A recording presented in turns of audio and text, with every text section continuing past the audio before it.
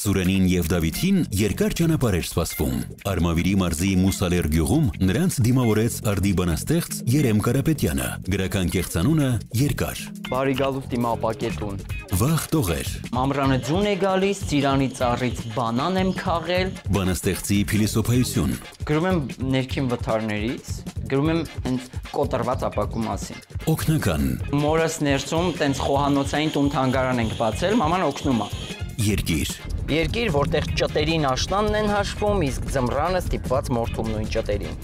Ինչ անել։ Վերադառնալ դպրոց, կարծում եմ։ Ամեն ինչ սկսել 0-ից։ Բարերի ուժը։ Տեքստը առհասարակ բառը կարող է ղեկավարել աշխարհը։ Հարևանի կանայք։ Գալիս է, երբ հարևան կանայք հեշտությամբ կամ մատների Արմանի կանանց հետ գործ ունենք։ Քաղցած սպասում են արդի բանաստեղծ Երկարի հետ։ Հուսով եմ բոլոր այն մարդիկ, ովքեր ընթերցումը հետևում են ինձ, չհիասթափվեցին։